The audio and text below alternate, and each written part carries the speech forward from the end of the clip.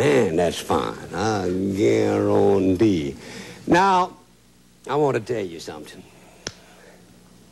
Every time I get right here at this jogging block, I can't help but talk about a bunch of my friends down in Louisiana, them Cajuns, them wonderful Cajuns.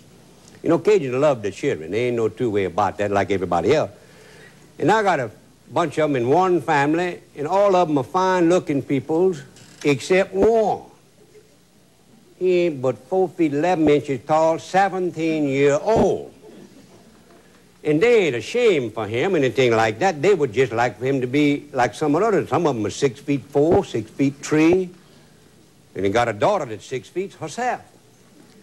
And they just kind of worry about that. And one day, the father heard about one of them chiropractic people, you know. And he thought maybe he could took this and maybe he could help him out. He did not know some better.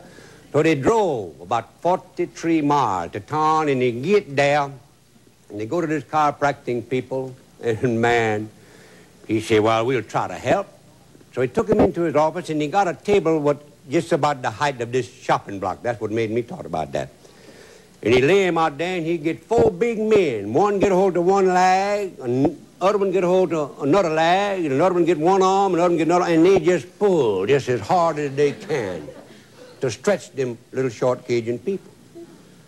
He said, now, you got to have them treatment every day for one hour at least. He got to be pulled on like that. And I know you live 43 miles from here and you can't make it all the time, so how come you don't get your family together there and one get one leg, one, the other leg, one arm, the other arm, and you did that yourself? My friend said, okay. So he left.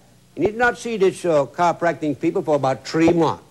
When he brought himself to town. He would walk down the street, hmm, and he see the chiropractic people. Oh, he say, I'm glad for you to see me. The chiropractic man say, I'm glad for you to see me, too.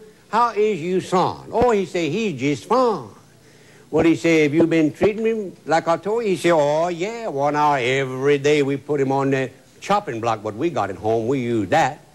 And we pull on him one hour like you told me. He said, well, has he grown any at all? He said, not one doggone inch, but he's confessed to 50 unsolved crime, I guarantee